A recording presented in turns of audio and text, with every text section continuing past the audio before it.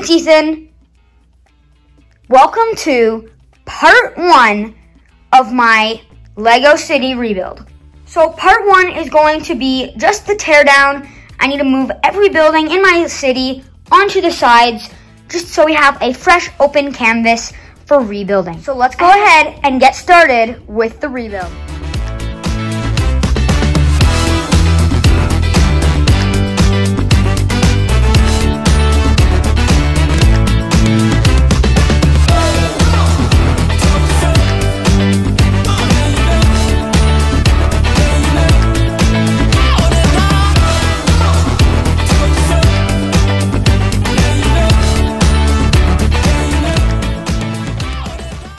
So that concludes the part one of my Lego City rebuild, which was the teardown.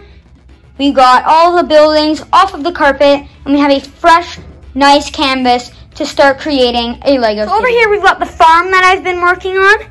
And then over here, we've got the mall, the train station, we've got the daycare, the cemetery, the playground, the horse shop, got the hotel behind there, and the electronics store.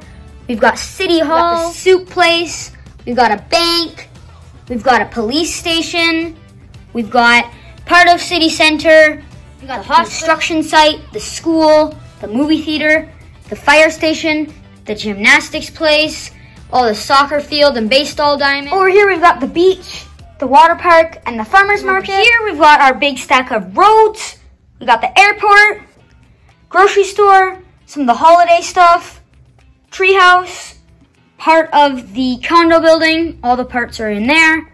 Got the noodle shop down there. We got some houses. We got the forest, the cafe. Got a whole bunch of houses in there. We've got the amusement park, which is really big and was pretty heavy to move. Got the pizzeria area. We've got the, uh, what's it called? The boo, no, something friends. I think it was like a clothing shop. Then over here, we've got the tower that I'm rebuilding. Got all the people and accessories in here. Whole bunch of that. Got the trampoline park up here. And we've got a ginormous pile of train tracks. Like, it's huge. That'll help us in our new training academy. There's the farm again. So we kind of just made a loop around my couch. Then over here, we've got a whole bunch of vehicles and even more vehicles up here and then the welcome sign. So that's a quick tour of all the buildings that I moved off of this ginormous carpet that will have a lot of area to build a new Lego city on. I just want to give a shout out to my sister that you might have saw in the time lapse. She helped me rebuild the city and made the process of the teardown go a million times faster. So thank I you. I hope you enjoyed this video, guys. Um, remember to hit the subscribe button with the notification bell on so you don't miss out when I post part two of my Lego City rebuild. But until then, I hope you guys enjoyed the video. Remember to like and subscribe. Bye.